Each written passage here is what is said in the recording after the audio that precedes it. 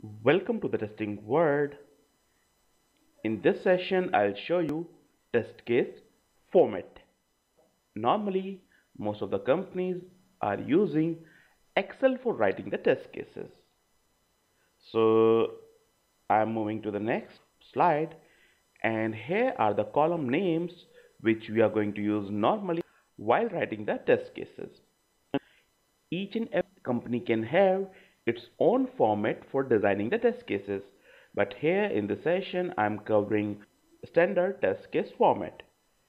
So I'm starting Excel. Most of the companies are writing test cases in the Excel. I started an Excel sheet. So if we see, we have few column names like test case ID, description, prerequisite, we call it precondition as well, steps, data, expected result, actual result, status and comment. So I'm moving to the Excel sheet and here. So I'm designing the format over here.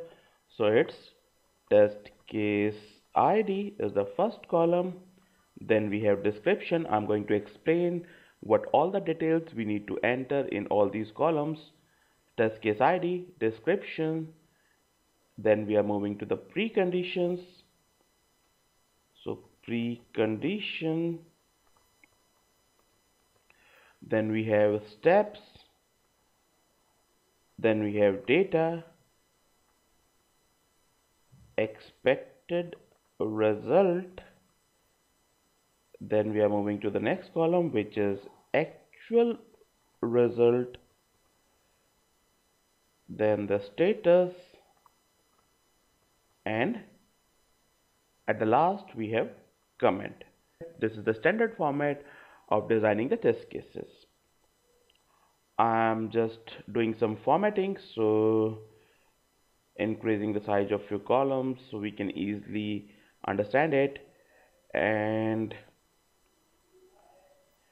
now just a basic formatting like I'm giving color coding to this header. So that's the header format I have given increase the font of the header so it can be easily you know understandable. It can be easily identified. So that's the header that we have developed. So this is the standard format which we are going to use while writing the test cases.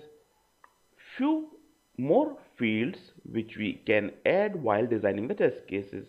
As of now I have shown you only standard format which most of the companies are using but few fields which I found could be very effective while writing the test cases are these are not mandatory field but if you use that it will bring effectiveness in your test cases. So one is priority type and bug ID I am moving to my standard format and here I'm adding two columns. So these are the two columns. One I want to give priority.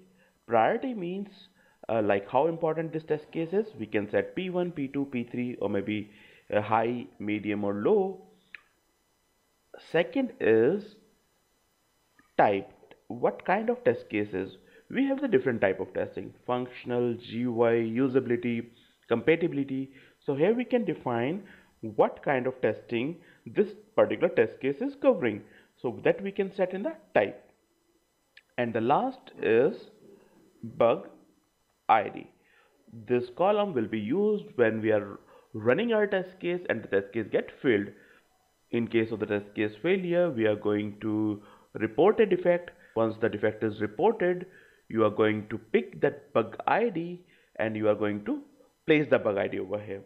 Whenever anybody else in your team is going to look these test cases can easily identify if the test case is failed what is the bug number for this test case so that's the three more columns which we can add while writing the test cases. So that's all we have for this session.